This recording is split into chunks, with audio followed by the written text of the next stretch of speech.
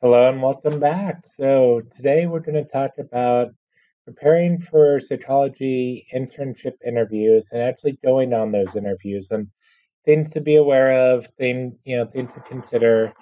So, first of all, with this um, document here, I've already shown you this, but I think it's really important, um, super important. Like, I really think you all should do this.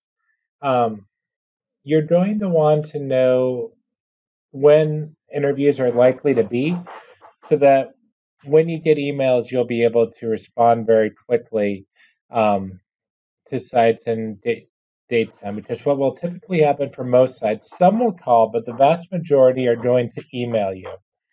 And they will give you the dates that are available for their internship um, interviews. And um, you are to send back your top three choices or something like that. These go extremely quickly. Like as soon as you see one of these emails, you need to drop everything and respond right away uh, with your availability to make sure you get the best date. Now, with that, how do you know which is the best date? Well, that's where the bad or the homework comes in. Which again, I know this is a little harder to tell because I've already deleted off you know, a bunch of dates, but what I did was I went through and did this for all my sites where yeah, if they give a clue um, in their APPIC profile about when their interview dates are or on their website, great. I put it in there and I put that over here so I knew like this was a date that both Denver and Detroit had in common. So Denver was higher on my list than Detroit at the time. So I didn't want to give that date to Detroit if I was trying to save it for Denver, that sort of thing.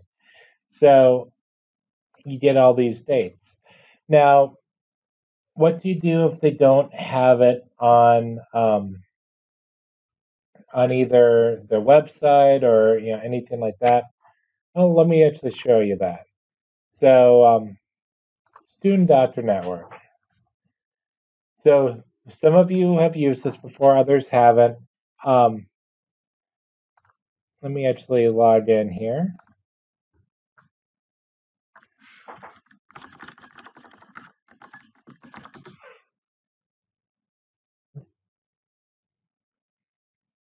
Okay.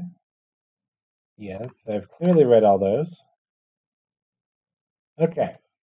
So, Student Doctor Network. Um, this is a topic where a lot of the people that post here are going to be applying for just, you know, grad school. But you do have it where people are applying for internship. And oh my gosh, they already have the internship application thread up it's always amazing when this starts. This is super early for this to start. Um, so someone will always start this. Believe it or not, I was the one um, back in the day, not for internship, but actually I started the thread for um, grad school, and I posted, you know, when people heard from different grad schools. But there's always an internship application thread. So let's see if we can find the one from last year, because that's what you're going to want to do. So, um.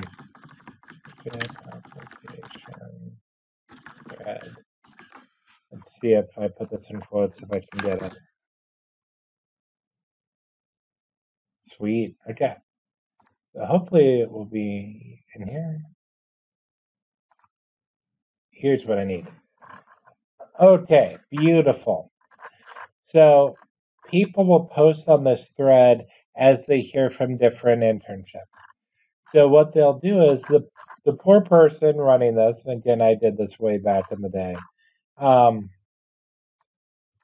will post the site and also the different dates that they're offering. Now, what you can do is you can go back to last year's and get a good sense of when they're likely to do it. You know, are they doing like the first five Fridays, you know, of the new year? Are they doing you know, like here, it looks like they just knocked it out right at the start of the new year. You'll have a good sense of when they're going to actually offer these dates. So, um, and also you'll have a good sense of when you might hear. This is also very nice to know. So, no matter what, whether you like to have um, the information or not about this current year, your year that you're applying, go back to last year's and fill in the dates to have as good of a sense as you can on when different sites are going to be posting and what dates they're likely to have. Once you have that, then you have to decide for you whether or not you're a student doctor network person. So for me, I want to know. Even if it's bad news, I want to know the bad news. I want to be informed. So I was always on this thread because, you know, even if it was at a site that I really wanted, sent out invitations and I didn't get one, I, I wanted to know that. Um, for others, that made them super anxious and they didn't want to know that. Um, totally up to you. You don't need to be one that watches this. I still watch it because I'm a nerd for you guys and I, I want you to do well. Um, but you know, you, you just have to decide for yourself what makes sense. Um, but I wanted you to know A, that it's here if you want it, and also know how to use it to find the dates from last year and to kind of guesstimate what dates, you know, they'll have the next year. So you create your spreadsheet, you do an initial rank, um, and that way you you can say, okay, I'm getting a call about, you know, I got a call from this site and they're offering these dates. You know, if there's a date where it doesn't conflict with anything, great, take it. If there's one where it conflicts, but it conflicts with something that's lower on your list or a site that's likely to have many dates, then maybe it, you take one of those dates. You know, you play it by ear with that. Um, the other thing is I only got to do one December interview, but I can tell you from experience, December interviews are wonderful. The more you can do, the better. Very, very important. Um, so if it's possible to do a December interview, absolutely take it. Um, January gets extremely busy. Um, and that's where I always like to show my January schedule. Again, I have this in the folder for you. Um, you can see I I was traveling like all of January.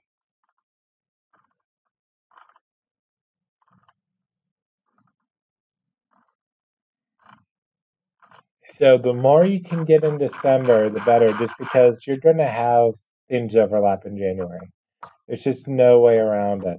So try to get December dates if at all possible. Um, oops, sorry about that. I hit my microphone. So shopping for flights. Um, open open jawed flies flights is what they're called. That's your friend. Um, because you're not really going to necessarily be doing a bunch of um, round trips. You'll probably be doing a bunch of one ways. So, um, U.S. Airways, back when they existed, was great with this. Different, you know, I'd probably start at kayak and see what you could do. Um, multi city. And here you can just put in, you know, let's say you had to go to Denver, you know, Denver, you had to go to Pittsburgh, you know.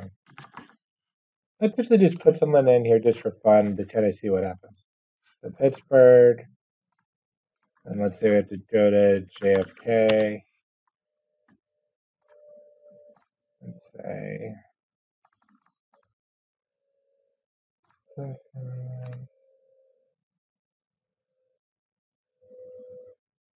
say you're gonna be going out the fourth. Let's add one more. Why not? JFK. Say you're gonna do it down. SFO.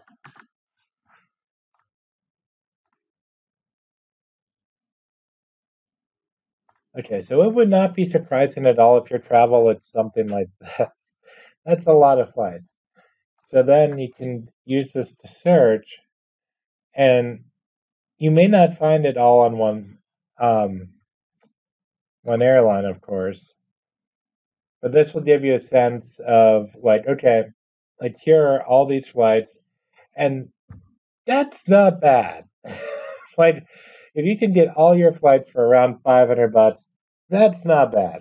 Now, granted, you know, it'll be more last second, but I would do something like this to get a sense of how you might be able to put something like this together. Um, let's see, let's do Delta.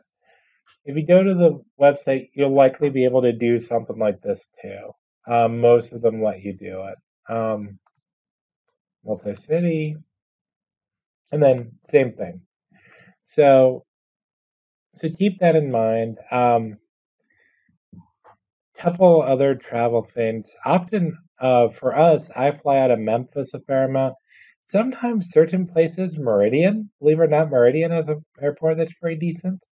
Um, you can fly out of Tupelo nonstop to um, Nashville, if that's helpful. Um, but and Birmingham, but Birmingham's often not cheaper, but sometimes it is for something on the East Coast. So you may have to be creative on which airports you're flying into and out of.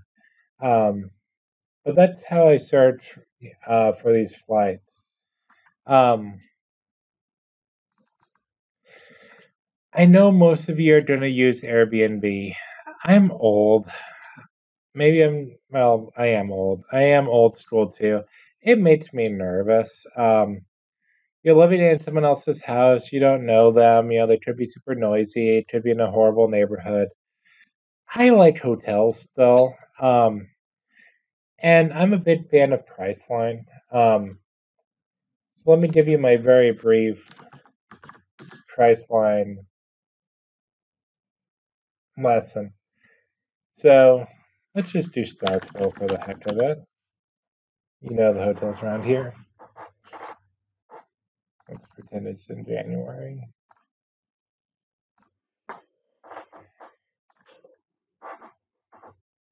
So,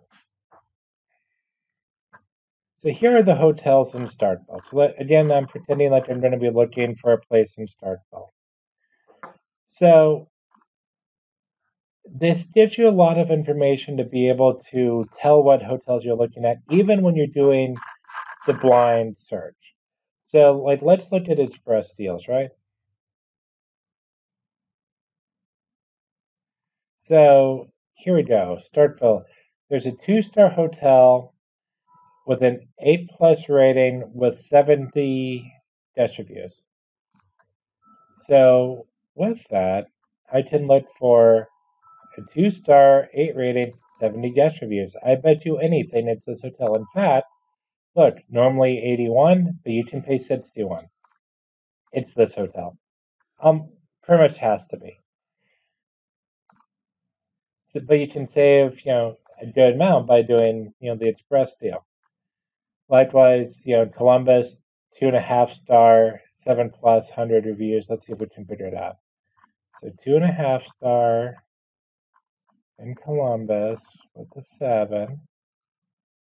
Okay, Columbus, 100 reviews, seven, two and a half star, almost surely this hotel. So 79 if you buy it not blind. If you buy blind, 58. So that helps. Um, if you want to save a little bit more, you can do the name your own price. And so again, let's do Starkville. So here, three star, eight plus on the rating. Well, let's look at Starkville. Three star, eight plus in the rating. You're bidding on this. So you you can use the information that they provide to pretty much figure out what hotel you're bidding on. Um, the other thing with bidding, if you decide to bid, so there's a three star hotel. Let's say you want that three star, you want that Hilton Garden Inn, right? You can click through and see what places have a three star and which ones don't. And, and around here, it's going to be most that don't. So once you have that, write down the ones that do not have a three star. Because what you can do is you bid for that three star. If you don't get it, you can immediately bid again by adding on another area. So you add on another area that doesn't have a three star, and you're still bidding for sure on that same property. So I don't have to worry if I say I want a three star hotel, I don't have to worry about ending up in West Point instead of Starkville because there's not a three star there. So those are just some initial tips. I'm more than happy to talk with you about um, how to save some money with your travel. Um, I'm a nerd with this stuff, but and you can go even further. There are actually ways to do VPNs to make it look like you're somewhere else and save even more money on your travel. If you're if you want, I'm happy to go through all that with you. Um, I know most of you are just going to do Airbnb, but um, before you do, at least look at the quotes for a hotel with ratings and you know again airbnb is ratings i know just just consider it just consider it it makes me happy it makes me feel good um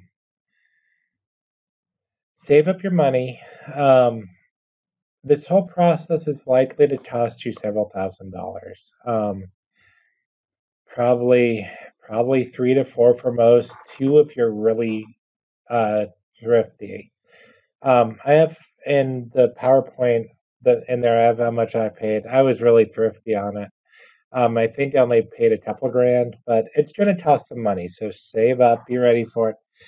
Consider a travel credit card. Um, there are certain credit cards where, um, you know, once you have so much to spend, you can get free flights or um, you, you know, with the Delta credit card, you can get it where bad fees are waived.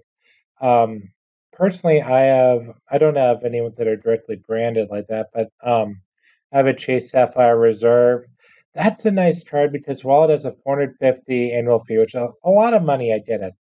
Um, 300 um, and travel is automatically reimbursed towards that. And there are other ways to make up the rest of the difference. So That's a card that may not make sense for you most years in grad school, but might make sense this year in grad school. So look at the credit cards, think of if that makes sense for you or not. Um, I'm happy to talk with you about those as well.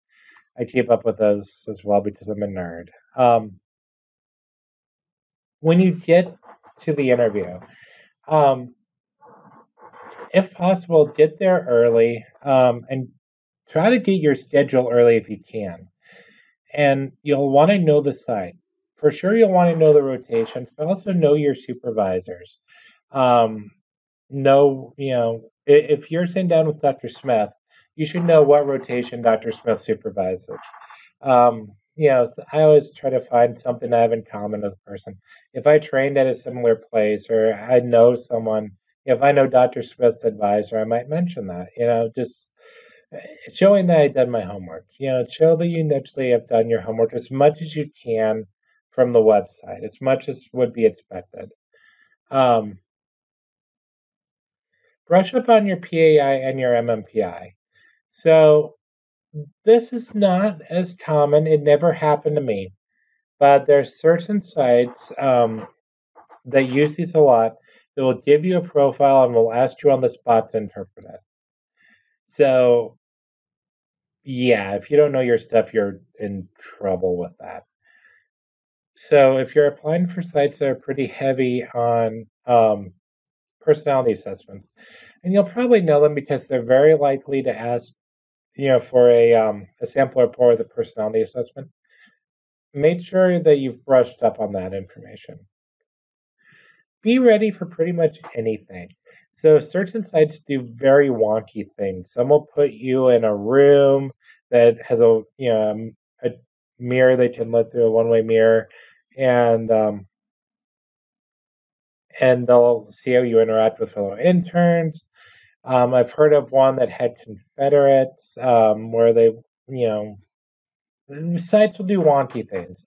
Just be ready for everything. Go with the flow. Very important. Show that you can adapt and go with the flow.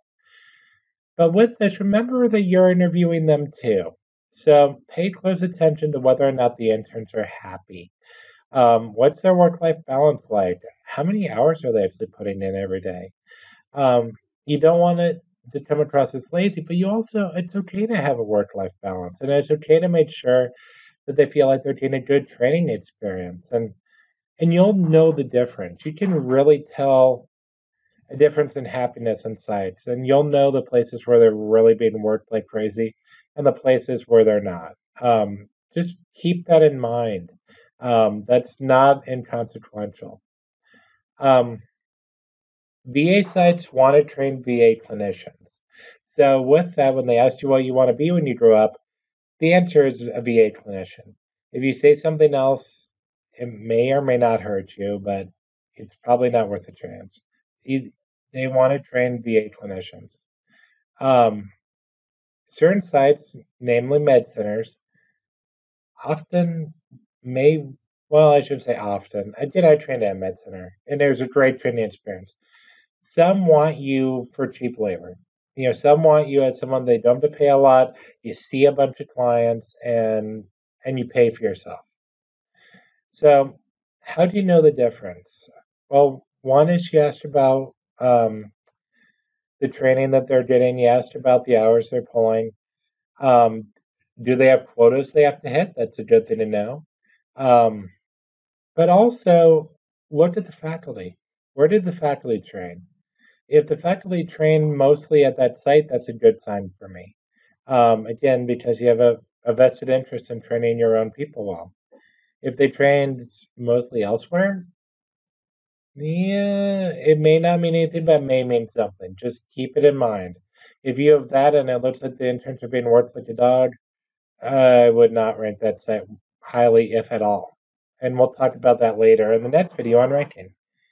Um, have lots of questions prepared. You do not want to run out of questions. And in some interviews, we'll just, you know, much like I usually do with my DCT interviews for grad school, I just ask what questions people have often. So make sure you have good questions for the site. Um, don't be afraid to ask more than one person the same question. A, they're probably not going to compare notes to say, hey, he asked me about this too. And also, inter-rater reliability is valuable. If you get very different answers from two people, that's going to tell you something. And actually may mean you need to ask a third person too.